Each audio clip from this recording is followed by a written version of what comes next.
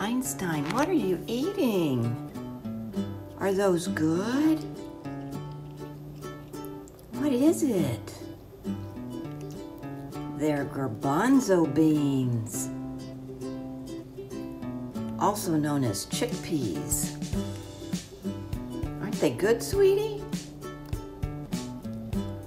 You like them.